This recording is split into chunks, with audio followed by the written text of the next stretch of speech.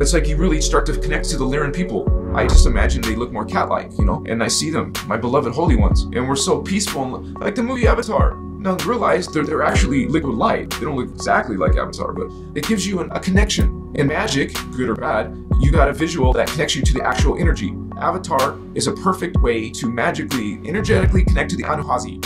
Say Anuhazi, inner speak, or outer, and say Anuhazi and see the Avatar being. That's a literal connection. You can just still get there and visualize liquid light.